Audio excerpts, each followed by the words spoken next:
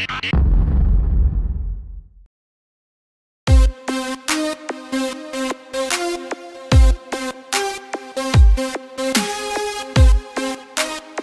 are the winners of the Nudge Leadership Challenge and we are going to take you on an amazing journey through Europe.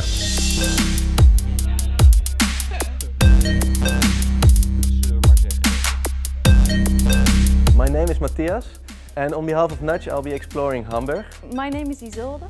I'm gonna explore uh, Kalundborg, Denmark. My name is Rob and I will be exploring Budapest. Uh, my name is Marloes and I'm going to explore Rotterdam. Okay, my name is Thomas Hermans.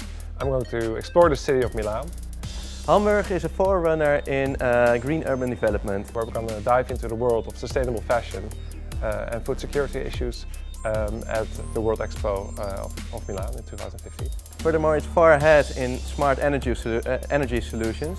Hoping to find uh, young people with uh, innovative and inspirational ideas about circularity. So we have a big port in Rotterdam and uh, this port has the ambition to become the most sustainable port.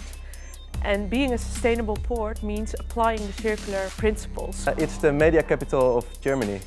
We're gonna visit Symbiosis, um, which is an interesting uh, site because this is the first circular economy or circular system existing in Europe. Follow us on a journey throughout Europe.